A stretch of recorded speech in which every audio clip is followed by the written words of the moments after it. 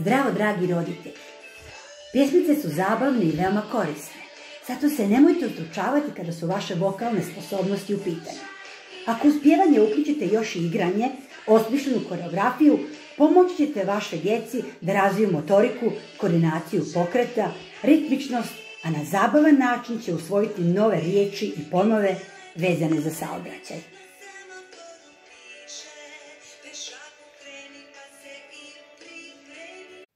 Stop stani je naziv ove pjesme. Možete drugari pogledati na YouTube.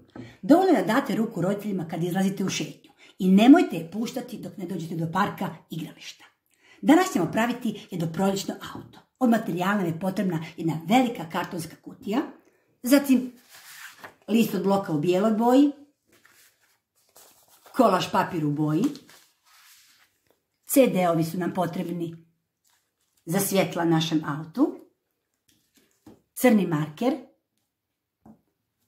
makaze, ljepilo u stiku, od ambalaže koje koristimo u kuhinji potrebne su nam plastične čaše i neke kutice činice. Zatim koristit ću kartonske tanjire od kojih možemo da pravimo točkove. Možemo da ih i obojamo da budu u crnoj boji i napravit ćemo volan. Potrebna nam je ukrasna traka, a za ukrašavanje našeg auta možemo koristiti vodene boje ili flomastere, to je na vama. Ja sam danas pripremila neke aplikacije, pošto nam je prolične auto, da budu jagodice i ćetići. Hajmo drugari da krenemo.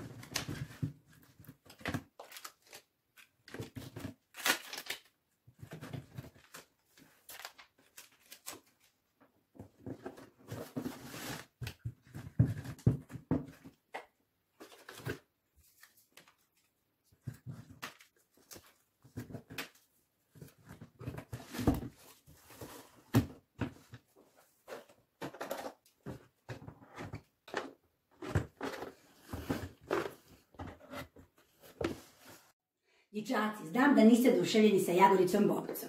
Zato za vas imam jedno iznenađenje. Samo uskočite u auto, možete da jurite u dvorištu i da se prepustite mašti da vas odvede gdje god poželite. Pozdrav!